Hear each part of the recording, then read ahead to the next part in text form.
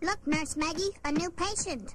Oh, I got the hiccups and I got got 'em bad. Nurse Oh. Maggie, begin preparation of the secret hiccup elixir.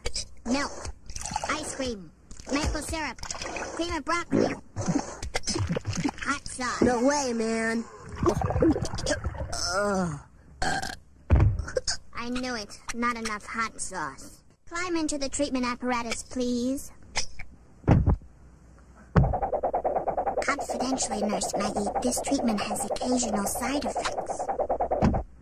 Oh, oh, But the side effects are somewhat entertaining, are they not, Nurse Maggie?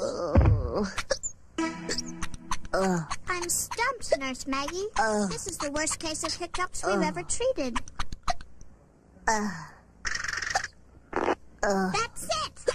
A combination of our previous techniques followed by the scare treatment. It can't miss. Oh! I pronounce this patient cured.